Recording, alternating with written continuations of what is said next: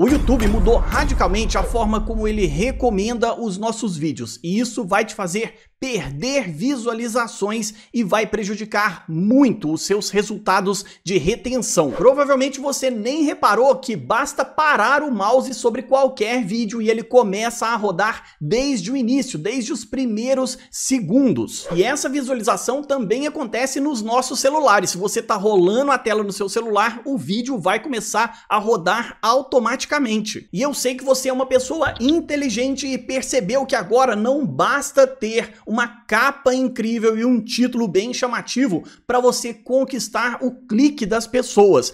E também teve uma mudança nas métricas do YouTube. Presta bem atenção no que eu tô te falando. Provavelmente os três primeiros segundos do seu vídeo vão ter um impacto muito maior na retenção e na obtenção de novas visualizações para o seu canal do que só a capa e o título. Se você entrar no menu de estatísticas, depois alcance, vai ver que tem um triângulo com um aviso de uma mudança que aconteceu na maneira como o YouTube faz o cálculo do CTR, da taxa de clique dos nossos vídeos. Isso começou a partir do dia 11 de abril, as visualizações de reprodução automática no feed do YouTube, ou seja, na home, na página principal, vão ser contadas como visualizações no cálculo do CTR. Isso faz com que esse gráfico nosso de CTR a partir do dia 11 de abril vai ser bem significativo. E isso também vai prejudicar e afetar a retenção dos nossos vídeos. Dá para ver isso nos gráficos. E presta bem atenção porque isso afeta de forma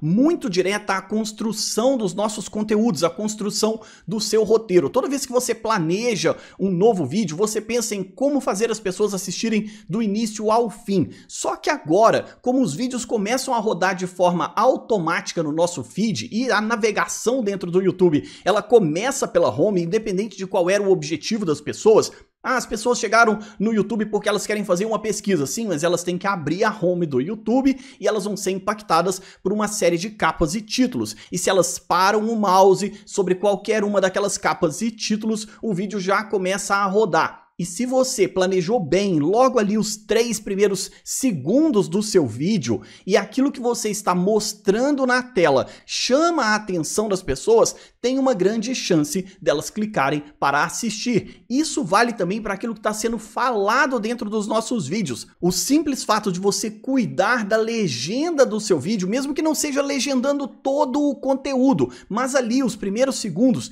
isso pode aumentar suas chances das pessoas clicarem para assistir o vídeo do início ao fim. Eu peguei esse meu vídeo aqui de exemplo só para você entender como essa mudança vai afetar de forma radical a retenção dos nossos vídeos. Esse meu vídeo ainda não foi tão afetado pela mudança no cálculo do CTR, aquilo que eu falei dele começar a rodar automaticamente já ser considerado um clique e uma visualização pelo sistema do YouTube. Quando eu paro o mouse logo aqui nos primeiros segundos desse vídeo, aos zero segundos eu tenho 100% de retenção, ou seja, as pessoas clicaram e é lógico, aos zero segundos, 100% das pessoas que clicaram ainda estão assistindo esse vídeo. Quando passa ali mais ou menos 10 segundos, 6% das pessoas já foram embora do meu vídeo. Mas agora eu vou te mostrar um vídeo mais recente do meu canal que já está sendo impactado por essa mudança e você vai ver isso nos seus gráficos. Se você der uma olhada no gráfico de retenção desse meu vídeo mais recente e eu parar o mouse logo no segundo 00,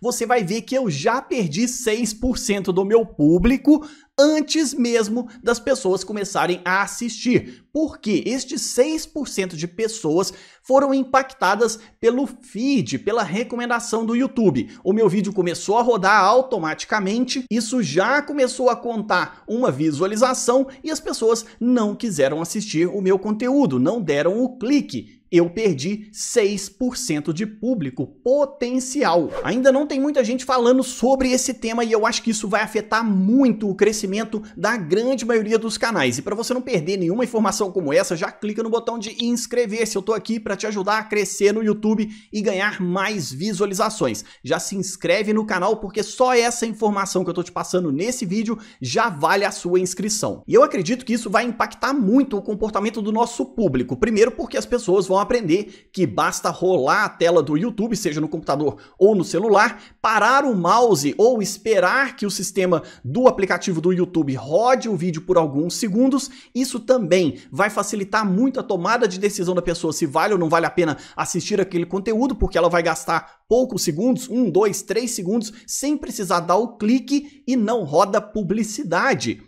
Quando a pessoa é impactada pela recomendação do YouTube e o vídeo começa a rodar automaticamente, não roda publicidade. Na grande maioria dos nossos vídeos tem aquele anúncio logo no início que a pessoa pode saltar alguns segundos depois, 5 segundos depois. Mas isso não acontece na recomendação, na home do YouTube. Ela consegue ver os primeiros segundos do vídeo sem ser impactada por publicidade. Isso vai afetar o comportamento do nosso público e aí vai afetar também a maneira como nós, criadores de conteúdo, vamos pensar aqueles primeiros segundos e nós precisamos nos antecipar a essa mudança tão radical dentro do YouTube. Você tem que pensar como os seus três primeiros segundos, no máximo cinco segundos do seu vídeo, vão entregar o máximo de informação possível para ganhar a atenção do seu público e as pessoas efetivamente clicarem para ativar o áudio e assistir o seu vídeo rodando normalmente. Se antes a nossa preocupação era com uma capa e um título bem chamativo, agora nós também precisamos pensar em ser chamativos nos primeiros segundos do nosso vídeo. Se a pessoa parar o mouse ali e ela perceber que o seu conteúdo é interessante, é relevante, se ela está rolando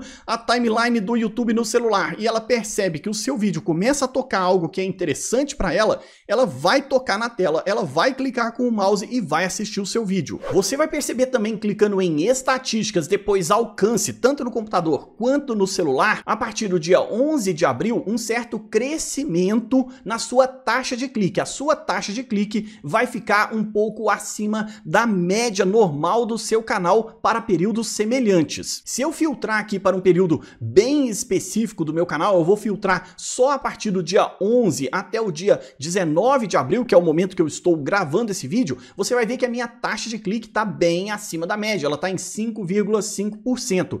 Comparado com períodos anteriores, eu posso pegar aqui o meu mês de março inteiro, foi de 4,6 e não foi uma taxa de clique ruim para o meu canal. Mas esse novo período de abril já jogou a minha taxa de clique um pouco para cima e a tendência é que ela continue crescendo por causa dessa mudança que aconteceu no dia 11 de abril e você vai perceber isso nos seus números. Por isso vai ser de extrema importância que você também comece a olhar mais para o gráfico de retenção dos seus vídeos. Quando completa 48 horas que o seu vídeo foi publicado, você já tem uma informação mais detalhada sobre como passou a retenção comparada com outros vídeos do seu canal com duração semelhante. E é aí que você vai ter que olhar para esse gráfico de retenção do seu vídeo logo no primeiro segundo, no segundo 00, se as pessoas estão assistindo ou se elas abandonaram ou se estão abandonando o seu canal, o seu vídeo muito cedo. Nesse meu vídeo aqui, por exemplo, eu perco 6% das pessoas. 6% das pessoas que viram a minha capa e o meu título e começaram a assistir o meu vídeo no modo automático na página principal, já abandonaram, não tiveram interesse de assistir o restante do conteúdo. Nós só vamos saber efetivamente o quanto isso impacta o nosso canal em termos de retenção, visualização e taxa de clique talvez somando ali um, dois ou três meses de informação completa, especialmente nos seus vídeos mais novos. E eu acredito que vai ser muito importante todo mundo fazer testes nos roteiros sobre a forma como você apresenta o seu vídeo ali exatamente naqueles primeiros segundos. Vale a pena revisar a legenda dos nossos vídeos, não deixar só para o sistema automático, já que muita gente vai ser impactada por esse play automático e vai ver a legenda, já que ela não consegue escutar o seu vídeo ainda, ela só vai escutar na hora que ela der o clique. E com uma legenda já corrigida, a pessoa consegue ler e saber exatamente o que está sendo falado. Não dá para perder tempo com o vídeo rodando coisas completamente aleatórias e é extremamente importante que você vá direto ao ponto mais importante, para a pessoa saber que o seu vídeo vai entregar o que está prometido na capa e no título. E você já sabe o impacto que tem uma retenção ruim. Quanto menos retenção tem o nosso vídeo, menos o YouTube recomenda. Se o YouTube recomenda menos, a gente tem menos visualizações.